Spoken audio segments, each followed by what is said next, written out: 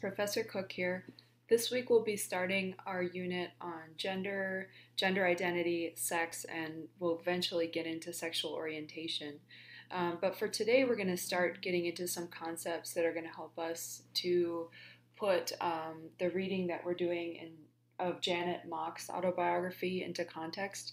Uh, the autobiography, Redefining Realness, uh, is I saved for last because it's really interesting and it helps to have all the content we've had up until now before we read this this text. I do want to move on into talking about gender so that we're prepared for the reading responses and the next quizzes.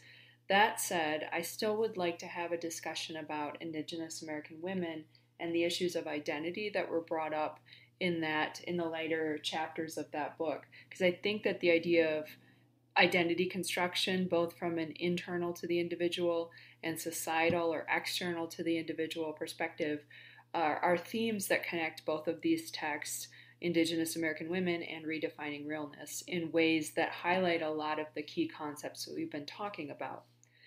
So we will we will be getting into all of that. This is uh, this content in this particular set of slides is fairly advanced. Um, some of these concepts are not discussed until upper level courses or even graduate school level courses. So if it's a little confusing, please uh, reach out and ask questions. I will try to make this as clear as possible, and we'll be um, breaking this down into probably at least two or three mini mini lessons here for this set of slides. Before I get into talking about gender and um, identity and social constructions of masculinity and femininity, I wanted to just um, touch on this this um, issue and the Transgender Day of Remembrance. The last time I presented these slides, we actually had an event on campus about the Transgender Day of Remembrance, and it was on this day of November 20th. But I wanted to point out that um, unfortunately, as everything else in our society, as we've been learning about other identities, um, the intersections of those identities you have can create even more oppression. So not not all transgender people experience the same amount of oppression. I mean, it's a very marginalized group. Don't get me wrong. That's I'm not um, suggesting that it's not by any means. Um, I'm saying that if your family is um, middle class and educated and has access to um, access to health care that covers some of your gender confirming uh, medicine and, and treatments and surgeries, that's a completely different experience than someone like um, Janet Mock in her autobiography in the earlier parts. So she talks about you know, being from a relatively um, poor family and not having access to those and having to really, and this was a different time too in the US, um, having to really learn to self advocate and, um, and find resources in her community. Um, not that her family wasn't loving, just that they were in a different position uh, socially. So, the Transgender Day of Remembrance is to remember um, transgender and nonconforming people who have died violently in the U.S. Frequently, this is um, people who have been marginalized and are, are sex workers, not always, but um, are working in the sex industry and they are often murdered, and unfortunately, disproportionately, this is um, trans women of color who end up dying violently so last year, when I pulled these statistics, it was 22 transgender and gender nonconforming people in the US. And if you remember um, that we had a couple of mass shootings last fall in uh, Dayton, Ohio, and in El Paso. And in the Dayton, Ohio case, one of these 22 people was um, the brother of the shooter who was killed in Dayton um, and was misgendered in the in the news media coverage. Uh, so that is just just a connection there between those between those horrific events. Um, worldwide uh, stats were at 331 um, transgender or gender nonconforming people who died violently, and I would guess that that number is slightly higher. But this is tracked annually, and Transgender Day of Remembrance was started last year, I believe, was the 20th anniversary, and it was started by someone who had lost a loved one who was transgender to violence. 1.4 million Americans identify as transgender, which is a transgender person, which is only 0.6 of the population. So it's a small number of people, but as you may know, this is a growing identity category as people start to um, come out as transgender more frequently. Um, and unfortunately, however, we, as this is happening, as as a culture, we, we're becoming more aware of gender identity as separate from sexual orientation, as separate from other identities. Uh, we see increasing hate crimes against transgender and gender non-conforming people. Um, so that's just some context. Um, the opposite of transgender is cisgender. CIS, cisgender. So people who are born with a certain set of genitalia and chromosomes, assumingly, and are um, assigned a gender identity, and then they internalize and also identify as that gender identity. Those people are cisgender.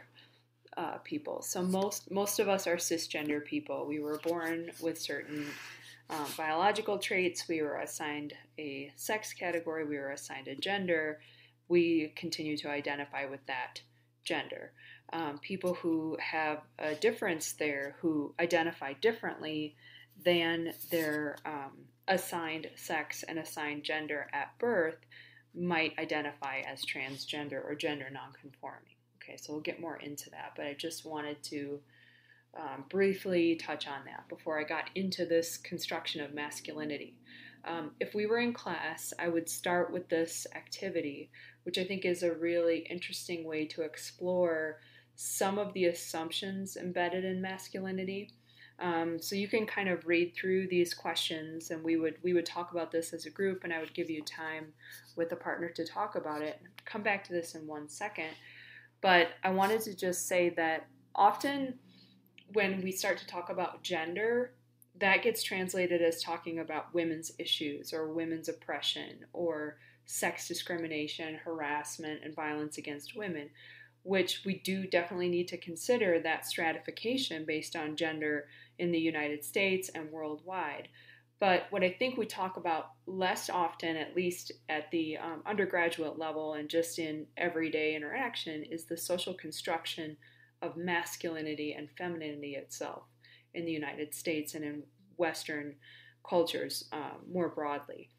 So part of the back the background of this activity is to get us to consider, to think about, to not take for granted these categories of masculine and feminine, and instead to problematize them, to use a kind of fancy word, but to say look, why why do we consider this to be feminine or masculine? Is that a construction or is that an inherent behavior that's linked to our um, biology? Long story made quicker here. Most sociologists are going to say that your gender identity is a combination of um, maybe 80% social construction and just a little bit of biology. So for, for us as so- social scientists, we generally would consider your masculinity, your femininity to be socially constructed um, through interaction. So here's an example of that. In this image, you've got a picture. This is, by the way, this is from a J. Crew catalog. I think it's J. Crew. So they're actually trying to sell the striped sweatshirt, or he's got a striped shirt on in the picture, but they're selling clothing. Um, but this is showing a little boy and his mom and she is painting his toenails and she's painting them pink. And so there was a lot of criticism about this image in a catalog. Um, as you can imagine, this was criticized because nail painting is not a typically male or boy activity. Um, plenty of people I know who are men get their nails painted and get manicures, etc. But this is not typically constructed as a male activity. So the fact that they're doing that was considered um, violating a gender norm, and also the color of the nail polish being being pink uh, a color that is constructed as feminine um, is is considered a violation of gender norms. So I'll let you kind of think about that. But the point I wanted to make was I want you to consider what are the assumptions about masculinity here. Why why are people upset about this? What inherently is wrong with a boy painting his toenails pink? Why would that be upsetting? Um, and when we're in class, we kind of talk through that. And, and if you are offended by this, that's that's you know fine. That's your opinion, and I'm not suggesting you have a different reaction. I want to point out that this is a construction. My guess is that if the mom here was with her daughter and they were painting toenails pink, this would not be an issue. We would not be talking about this many years later. Um, also, if this were a father and a son doing something that we might consider stereotypically masculine, like playing catch instead of toenail painting, that would also not be an issue. Um, so I want to kind of consider that. And I think we could even have a, a, father and a daughter playing catch, right? And that wouldn't be considered as much of a gender norm violation uh, as this picture. And I think what would make this more upsetting to people is if it were a dad painting the son's um, toenails. Because dads are supposed to, moms and dads are supposed to be the agents of socialization and gender.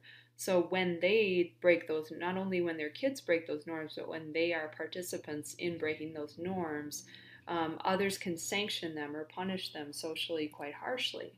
So here are some here are some uh, reactions to this that I think get at the point I'm trying to make. So I called this policing the gender police because I guess I thought I was being kind of clever when I um, made this slide title.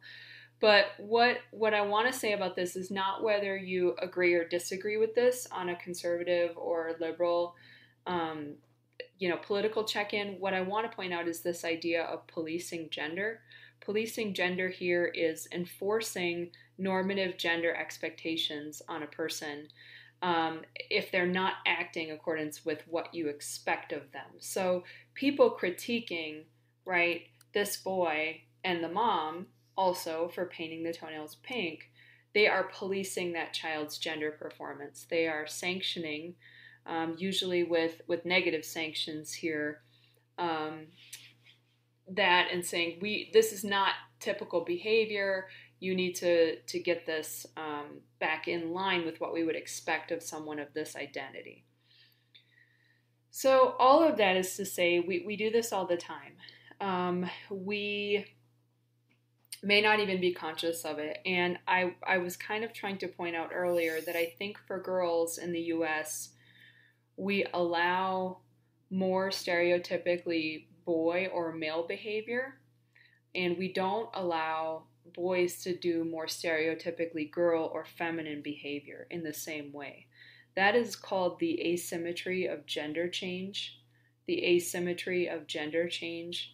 Basically, that is saying that for girls, gender roles have broadened, have opened up more for girls and women in the last 40 to 50 years than for boys and men. So, one example of this is when you come to campus, hopefully, that will be happening again in the fall, you'll see um, both men and women wearing jeans or pants or shirts, and people dressing in ways that in the past would have been considered uh, extremely androgynous or gender bending. Um, but you do not see, or me, I, I myself tend to like menswear a little bit. So sometimes I like to dress a little more uh, masculine with a button up shirt, a blazer. Occasionally I've even worn a tie um, just to kind of make a point or to be funny. Um, but and and I get some I get some looks for that. That's I'm not saying I don't have some reactions that I notice when I've done that. But I can do that and feel fairly comfortable, whereas my husband has never, to my knowledge, gone to work in a dress or a skirt.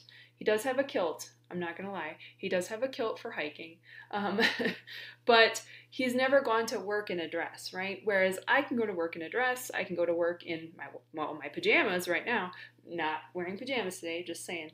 Um, or I can go to work in menswear. So that's that's kind of the point here. People generally don't negatively sanction me, but I'm guessing if my husband went to work in a dress, uh, he would face a lot more notice, a lot more um, overt reactions and negative sanctions. And people would make assumptions about his sexual orientation that may or may not be accurate.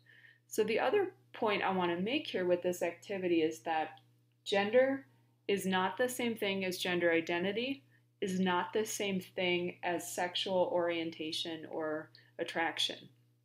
So, someone can paint their fingernails pink and still identify as, as straight, okay, if they're someone who's male.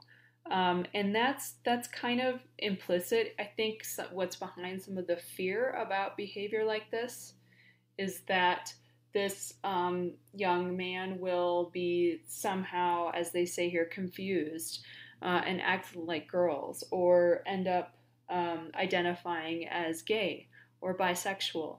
And w- I'm not I'm not saying those things are negative. I'm saying that's the fear behind these um, reactions. And implicit in that fear based reaction is a devaluing, I think, of the feminine and a devaluing of people who are not straight. So I think you kind of get at some of those implicit assumptions there. Whereas a girl acting like a boy is considered less threatening. Well, if, if masculinity is valued more than femininity, why wouldn't girls want to act like boys and be tough, right?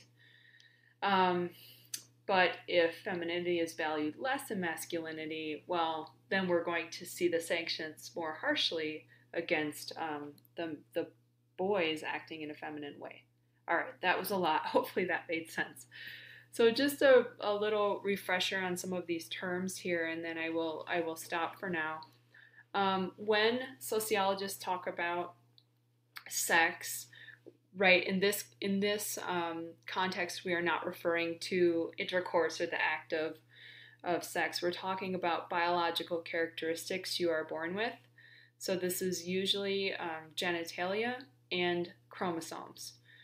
Uh, most of us um, ha- are, are categorized into one of two sex categories at birth but there are individuals who are intersex who have traits of both sex categories, and that is what the I and LGBTQIA um, usually stands for. Okay, on the other hand, so sex you're born with, okay, and you're assigned and how we interpret those um, traits. Gender, on the other hand, is socially constructed. So gender is both something that exists at the level of society and it's an internal identity. All right, so it's a socially constructed, learned set of attitudes, behaviors, beliefs, um, values that characterize people of one sex or the other, but it is not inherent.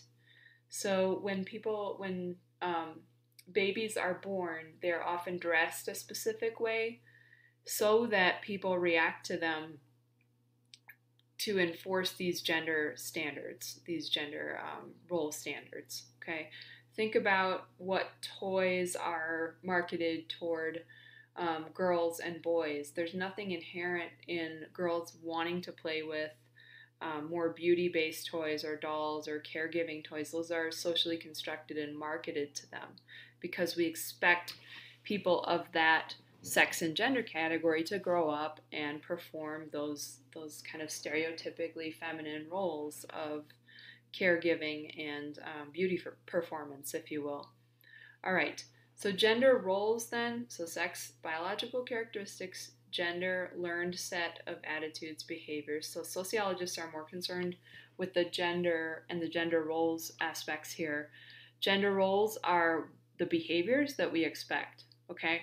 So you might, um, whether whether or not sometimes we do a little game about this in class and you may, may remember this from other classes I've taught. So I want you to think about whether or not if you know what um, mascara is. Okay? I want you to think about if you know what mascara is. No Googling yet. Um, and if you know what that is, uh, my guess is you likely identify as um, a woman. Uh, and even if you don't wear mascara, you probably know where it goes uh, in terms of its makeup, where it goes on your face. But a lot of times when I've asked this question in class, even if the students that I'm reading as women don't wear mascara, they know where it goes.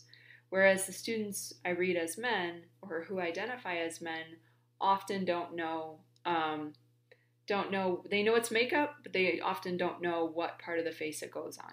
Okay, so the reason for that is because we are taught from a young age um, what we are supposed to know. That's like a gendered construction of knowledge there, and I'm sure there's like a masculine equivalent. Um, for boys, you're supposed to know how to throw a football, right, or something like that. Um, okay, so we learn gender roles through agents of socialization, um, through our parents, through our peers, through media. So we are going to get into um, the media and constructing masculinity, and you've got this is a picture of Jean Claude Van Damme from an actor from the 90s, 80s, 90s, uh, still acting, I think, martial artist. And this was in a, a, martial arts competition movie. I don't know how else to describe that. Um, okay, so we will talk about this a little more in the next part. Thanks.